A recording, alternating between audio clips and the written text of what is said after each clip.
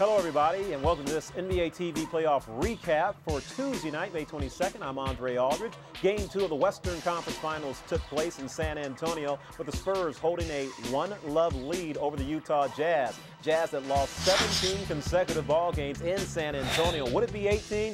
Deron Williams coming off of a career high 34 points in game one, hoping that wouldn't be the case. Tony Parker and the Spurs obviously had other plans. We picked things up in the third quarter. Spurs led by 17 at the break. Great pass there by Tim Duncan to Fabricio Oberto, or Fab as he's known to his teammates. Andre Kirilenko gets it back to Matt Harpring, pulls his club to within 17. Yeah, not much of a contest here. Spurs a band on the run. Brent Barry gets to Manu Ginobili, one of the 13 made three-pointers for the Spurs in this ball game. They led 81-60 55 after three, fourth quarter, Carlos Boozer over Tim Duncan.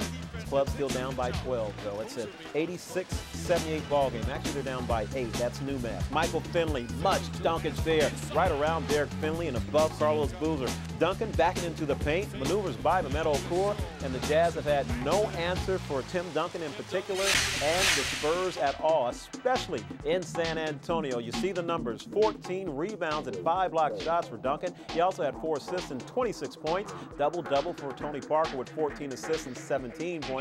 Boozer's 33, looks pretty good. So do the 10 assists and 26 points from uh, Deron Williams, but their ball clubs never really in this contest. And in the history of the conference finals, teams that have gone down 0-2, 57 times that's happened.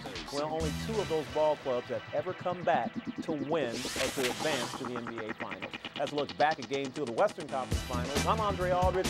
Enjoy the playoffs, everybody. Check out the playoff action Thursday as the Cleveland Cavaliers face the Detroit Pistons in Game 2 of the Eastern Conference Finals at 8 p.m. Eastern Time on TNT.